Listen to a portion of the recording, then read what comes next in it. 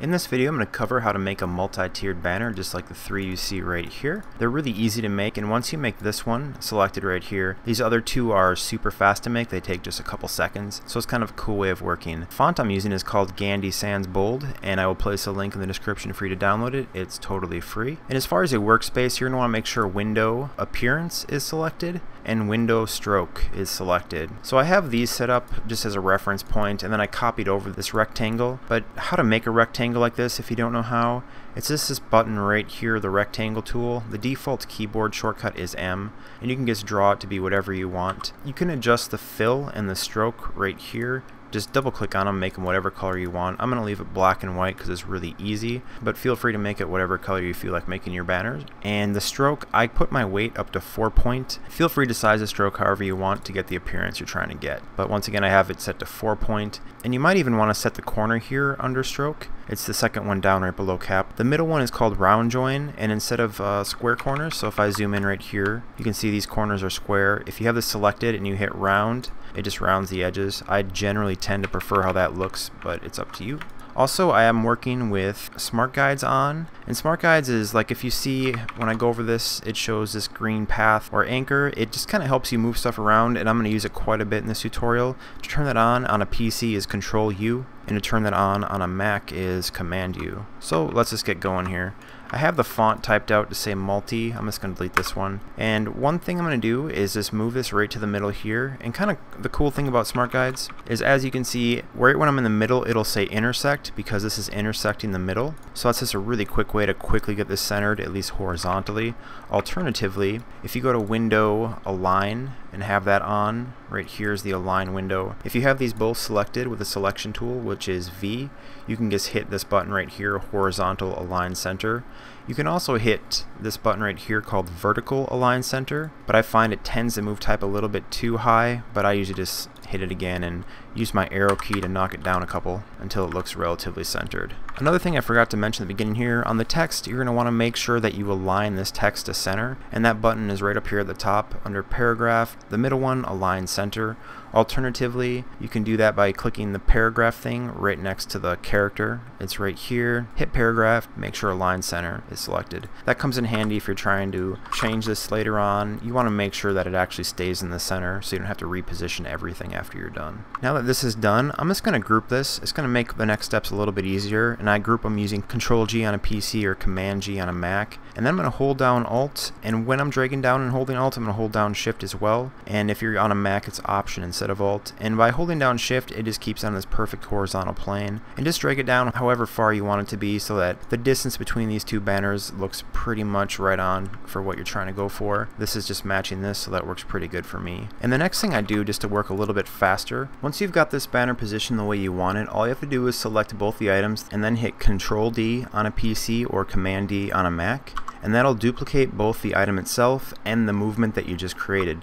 So this is a really fast way to create as many of these banners as you want for the length of your overall multi-tiered banner. And now to make this little insertion right here for this banner look, I'm just going to go to this top one right here and I'm going to hit the plus sign and what the plus sign does right here you can see the pen tool has changed to add anchor point tool Another way to do this is if the pen tool is right here, you can just hold down with the mouse button, and then instead of pen tool, go right down here to add anchor point tool. And then I'm just going to hit somewhere on this side or on the left side if that's where you're trying to make the insertion, it doesn't matter at all. Just hit it, and then I'm going to hit A, and A is the keyboard shortcut for the direct selection tool. After doing that, you can see once I'm in the middle here, it's drawing this green line right to the center. So I know that no matter where I start, as long as I drag it to this green line, which is the middle intersect point, we're right on center so that's looking the way we want it to. And now I actually want this bottom one to look just like this. The quickest way to do this, I'm going to select this and holding down Alt once again with the selection tool, I'm going to start dragging it down and then I'm going to hold Shift which keeps it on this perfect path. I'm just going to drag it right about here so we can quickly rotate it. When you move your cursor right over the corner or right here like the center little square, it turns into these two arrows going left or right so you can quickly just rotate it. Holding Shift just make sure instead of being on any degree of angle, it's a perfect degree of angle. Do it until it goes 180 like this and then drag it up holding down shift. You don't need to hold alt for this. Just drag it until it lines up perfectly right over the previous one. And I'm actually just going to click off of it and then select this one in front. I'm going to delete that. And then I'm going to just click this using the selection tool. And I'm going to right click or control click if you're using a Wacom tablet, something like that that doesn't have a second button, and ungroup. And then I'm just going to take this text and flip it around like that. Once again, holding shift while rotating. And then I'm just going to move it until it's right around the middle here just using my arrow keys. Looks pretty good. So this is looking pretty good. We're almost done here. I'm just going to grab this middle box and I'm going to hold alt and shift and just drag it up here and then I'm going to ungroup it. I'm going to delete this type because we don't need it. We're going to make these back boxes right here just like this. I want to make sure that this box is in front just to make it a little bit easier. I'm going to right click and then arrange and then bring to front. And this time I'm just going to drag this box while holding shift right over the top of this first top box. Once you have that done and it's lined up perfectly, use the direct selection tool, which is A as a keyboard shortcut, and we're going to find the two anchor points. When you have smart guides on, the anchor point will be highlighted. Click the first one up here and then hold down shift and click the second one. Holding down shift allows you to select both. And then just take this and drag it right here down onto the second box until you see it hits intersect. Just drag it right onto that bottom point. It should be snapping in place for you. And then go ahead and let go. So you can see this has created essentially what will be this back banner right here. Now that that's done, we can just click this box, we can right click it, arrange, send to back. And then we can just click this box again, holding alt, start dragging it down and then hold shift until it's lined up perfectly over the middle two boxes, then just go ahead and let go and then do it one more time. Click this box right here, hold Alt. While you're dragging it, hold down Shift so that it's on a perfect little line up here. Get these lined up. As you can see, that top box there has the green intersect line. That's telling us that this is perfectly lined up. We're good to go. Let go. So we're almost done here. Next I'm just going to select these boxes by holding down shift to select more than one at once. So this selects the boxes that are just in the back here. We're going to turn it to gray so it creates a sense of depth a little bit. And then I'm just going to double click the fill right here, which will bring up the color picker. Pick whatever color you want. I'm just going to do a gray, hit it, and we're good to go. So we're almost complete. Next, I'm going to use the selection tool, which is once again V. Select this whole thing, and we're going to group this. And I'll tell you why in just a second. To group it, hit Control G on a PC or Command G on a Mac. And grouping this is important because once we apply an effect to this, the group will make the effect apply the same across all the different elements in this group. So the text, the banners, everything will look very consistent. If you didn't group it, the effects would affect each element separately, and it wouldn't look like a cohesive piece. So make sure you group it.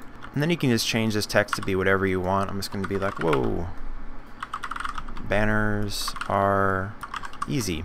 There we go. And once again, this is all grouped. So I'm just going to select this entire thing, hold down Alt and Shift, and drag this guy down. And this is where it's a lot of fun because applying effects once you got this base thing done is super easy.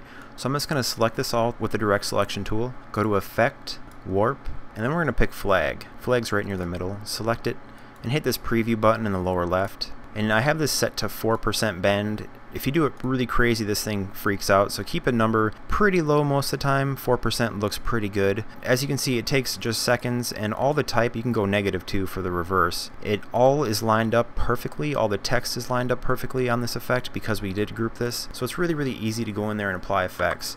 And if you have it highlighted in your appearance window, you can also toggle this effect on or off by clicking the eyeball next to the warp flag, or this applies to any kind of effect you apply.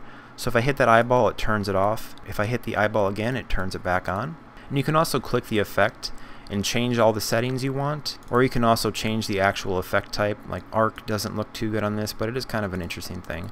So just play around with something that you think looks cool. You can go through all these different effects to see how it applies to what you're doing. And if you want to make something just like this one right here, that's also super easy to do. So I'm going to use the selection tool once again. Just select this whole thing, hold Alt and Shift. And then while this is selected, we're going to go down over here. The tool we're looking for is called the shear tool. Usually the scale tool is selected. It'll be right underneath the rotate tool and it's usually right around the middle section of your toolbar once that's open. So just hold down this. It'll usually say scale tool and then select the shear tool. And then go to one of the corners here. I'm going to go to the right corner and just drag it up and hold shift so that it stays nice and perfectly. If you don't hold shift it can kind of freak out like you see it's doing right here. But once you hold shift it'll stay nice and straight. You can give it a little bit of a warp up and it looks really nice. Super easy and your text will still, if I just type this, you can tell it still follows that path perfectly. And also as one last super quick tip, using your direct selection tool, which is an A keyboard shortcut by default, if you notice on these two little points here, this top one looks like it might be going out a little bit further than the bottom one, you can just hover over it and then you'll select it and use the keyboard shortcut arrows. And I usually just move it over like four or five keyboard clicks using the arrow tools and I count it because that way I can do it down here and I knew I went four up here so I can go four over here and you can tell that way it's the same on both ends. You can keep on just like adjusting these a little bit to get them exactly the way you want. But sometimes these points get pretty exaggerated so you just want to use the direct selection tool and you can kind of keyboard arrow them left or right until it lines up pretty close to what you're trying to do. But hopefully this video was helpful for you and if it was please hit like and favorite and if you want to see more videos like this consider subscribing. I do my best to keep new videos coming every week. Thank you so much for watching.